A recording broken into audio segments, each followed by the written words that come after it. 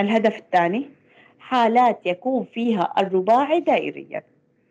إذا رح نبدأ. ما هي الحالات التي يكون فيها الرباعي دائريا؟ أول شيء قال إذا تكاملت زاويتان متقابلتين في شكل رباعي كان هذا الرباعي دائري. كيف يعني؟ هاي مبرهنة العكس للمبرهنة اللي أخذناها قبل شوي. هاي نسميها مبرهنة العكس. عنا A B E D شكل رباعي له أربع أضلاع تمام؟ متى يكون هذا الرباعي؟ أكيد إنه يمر من رؤوسه دائرة. قال إذا كان عندي الزاوية A جمعتها مع الزاوية E كانت 180 درجة فالرباعي دائري. ضروري A مع E لا ما ضروري A مع E.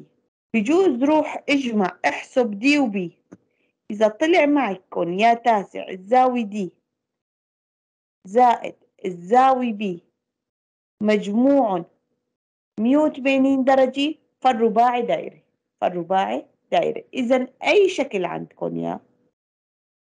بس أنا جيت طلعت على زاويتين متقابلتين وجمعتهم مع بعضهم. إذا طلع معنا الرباعي. إذا طلعوا مجموعهم 180 درجة فالرباعي دائري دائما وأبدا يا تاسع إذا طلع مجموع 180 درجة فالرباعي دائري هلأ الحالة الأولى اللي بنقدر نقول فيها كيف بنثبت إنه الرباعي هو رباعي دائري إنه نبحث عن زاويتين ونسبتهم مجموع 180 وهاي المبرهنة بنعتبرها مبرهنة العكس للمبرهنة اللي أخذناها من شوي. طبعا إيش بنستفيد منها؟ بنستفيد منها في حل المسائل. يعني بقول لك أثبت أن الرباعي دائري إحدى الطرق هاي الطريقة الأولى بكون اخذناها الطريقة الثانية الحالة الثانية. انتبهوا لعندي يا تاسع. قال إذا تساوى ثانيا. إذا تساوى قياس زاوية خارجي لرباعي لدينا أتش إي إف جي رباعي. تساوت الزاوية الخارجية شايفين الزاوية H اللي حيطلع عليها إشارة خضراء؟ هاي الزاوية الخارجية بعد ما مددنا H E ل إذا تساوت زاوية خارجية مع زاوية داخلية المقابلة لمجاورتها كان الرباعي دائري. إذا لدينا اتش اي جي اف رباعي دا رباعي. بس إيش هم بسألك؟ بقول أثبت أن الرباعي دائري. فأنت لديك شكل رباعي له أربع أضلاع بتحاولي تثبتي الزاوية F تساوي الزاوية G H E تمام؟ بس قدرت تثبتي إنه الزاوية الخارجية تساوي الزاوية الداخلية المقابلة لمجاورتها شوفوا F تقابل الزاوية H اللي بتجاور الزاوية الخارجية تمام؟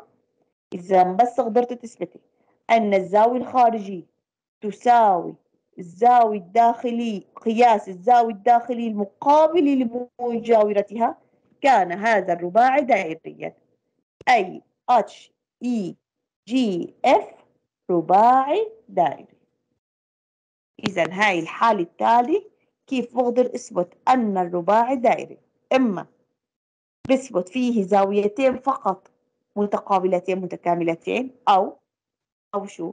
أو بثبت إنه عندي الزاوية الخارجية تساوي الزاوية المقابلة لمجاورتها فبيكون كذلك الرباعي دائري. بقي عندي حالة ثالثة رح نحل تطبيق صفحة 63 وبعدين بنكفي بالحالة الثالثة تطبيق صفحة 63 انتبه لعندي أثبت أن الشبه المنحرف اللي قدامكم متساوي الساقين هو رباعي دائري بشكل عام. أي شبه منحرف متساوي الساقين. انتبهوا لعندي K M N L شبه منحرف متساوي الساقين. إيش يعني شبه منحرف؟ يعني عنده ضلعين فقط متوازيين. اللي هن K M و L N. إيش يعني متساوي الساقين معناتها طول K L يساوي طول إن إم. هاي حالة خاصة من من الشبه المنحرف. هو الشبه المنحرف متساوي الساقين قال إذا كان عندنا الشبه منحرف متساوي الساقين فهو رباعي دائري طيب كيف بدنا نثبت؟ يا تاسع أول شيء بما أن إل كي إن إم شبه منحرف فبالتالي مجموع زوايات 360 درجة. كيف يعني؟ يعني لو رحت جمعت الزاوية ال والزاوية كي والزاوية ان وام رح يطلع مجموع 360 درجة. ليش؟ لأنه شكل رباعي. أنا متفقت معكم. أي شكل رباعي؟ مجموع زوايا 360 تمام هذا شكل رباعي. ولكن الشكل عندكم مو بس رباعي وشبه منحرف في عنده ضلعين متساويين. يا بنتي انتبهوا لعندي بقى هاي قال بس كان عندك شبه منحرف متساوي الساقين فإن زوايا زاويتا القاعدة متساويتين. كيف يعني؟ يعني الزاوية K تساوي الزاوية M دائما. وين؟ في المتساوي الساقين. الزاوية K تساوي M. كذلك L يساوي N. الزاوية L هاي الزاوية L تساوي الزاوية N. دائما وأبدا. إذا كان متساوي الساقين طيب يا صبايا بدي أعوض هلأ إيش بدي أعوض قال بدي أشيل كل زاوية حط مساويتها. يعني أنا بدي أشيل الزاوية K اللي لونت بالأحمر وراح أحط محلها M هاي الزاوية K تمام؟ راح شيلها. إيش تساوي تساوي الزاوية M محل K حطيت M تمام؟ شلتها حطيت إيش تساوي وكذلك يا تاسع. شلت الزاوية N هاي الزاوية شلتها وحطيت محلها L الزاوية L تمام؟ شو صار عندي؟ صار L زائد M زائد L زائد M عندي تنتين L وتنتين M L زائد L 2 L تماما صار عندي 2 من L و M زائد M 2 M اذا 2 L زائد 2 M يساوي 360 درجة. وبالتالي إذا 2 L زائد 2 M يساوي 360 درجة. روحي قسمي على 2 طرفي المعادلة.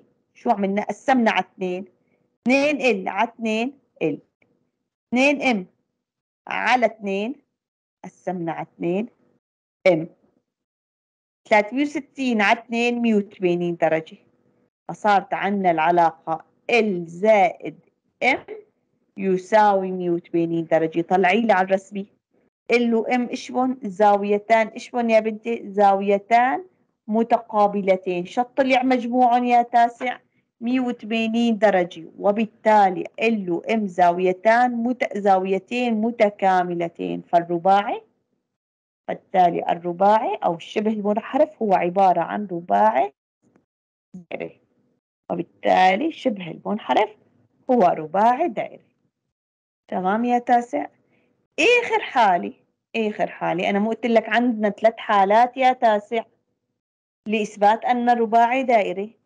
شرحت حالتين الحالة الأخيرة وهي عبارة عن مبرهنة بس بدنا نفهمها قال إذا كان لدينا نقطتين A و B في جهة واحدة من جي دي شوفوا بدي رح أرسمها عندي قطعة مستقيمة رح سميها جي دي تمام إلا الشكل الفراشي. هاي الحالة التالية لإثبات الثالثة لإثبات الرباعي الدائري وعندنا نقطتين يا تاسع A و B. الزاوية A النقطة A و B. اثنيناتهم في جهة واحدة يعني اثنيناتهم إما فوق G D أو تحت G D تمام؟ وهاي B تمام يا بنتي؟ قال إذا كانت الزاوية D B G تساوي الزاوية D A G فأنا بروح بمدد. G ل B بوصل. و D ل B تمام؟ شكلت هاي الزاوية اللي هي G D G B D كمان بنفس الطريقة مددت.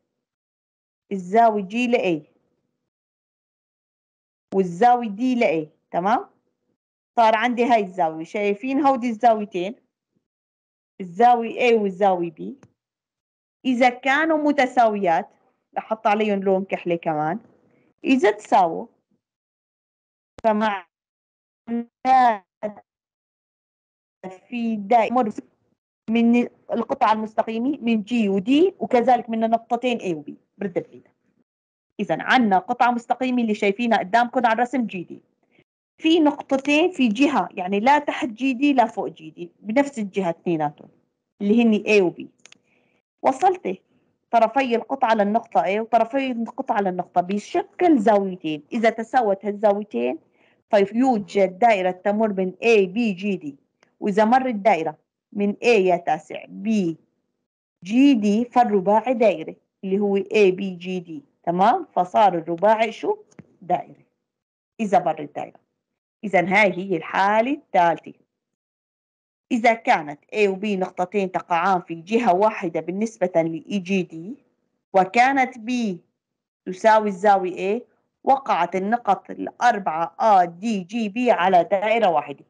ثلاث حالات لإثبات أن الرباعي هو رباعي دائري نستخدم وحدة منهم. جزاكم الله خير. درس الجي نكمل